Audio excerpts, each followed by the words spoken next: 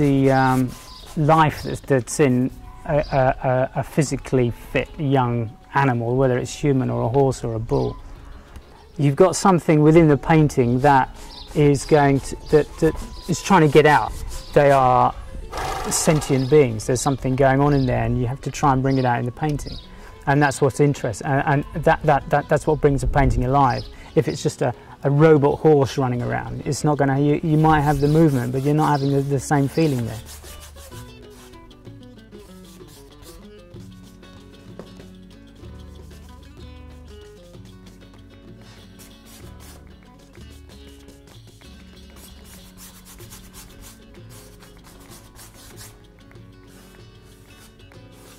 my technique is quite important to the painting.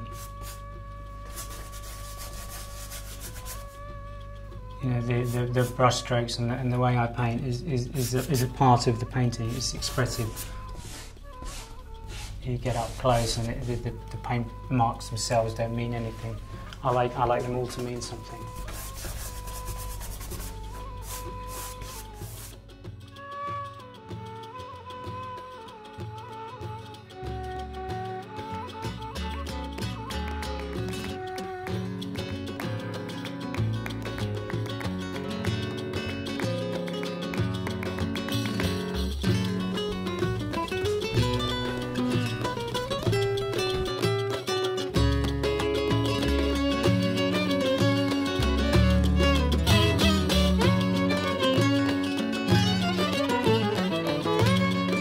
Something about the.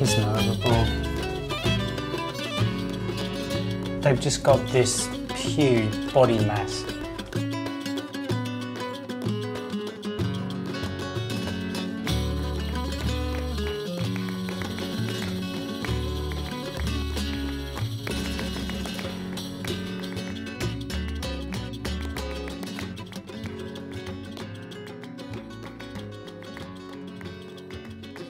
They don't have a, a happy expression.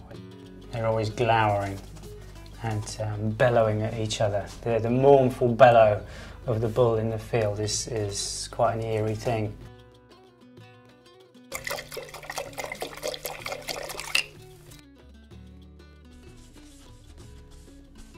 That's all I'd have on my palette, but they are the primary colours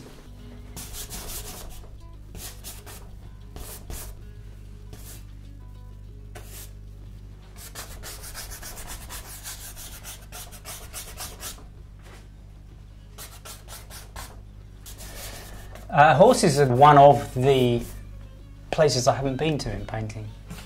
Um,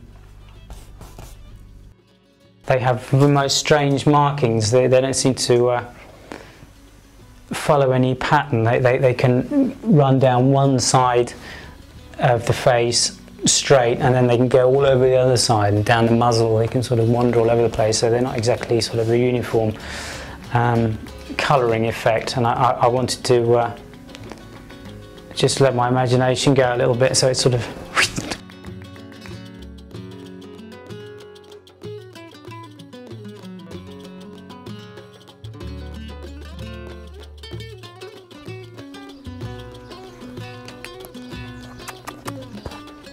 I did the head and, and, the horse that I was using, which was an old photo I had, um, or series, series of photos, He's had such a fantastic face.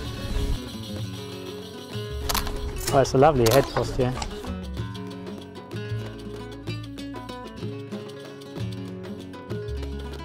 So superficial physical structure there with, with, with the veins and the, and the muscles exposed.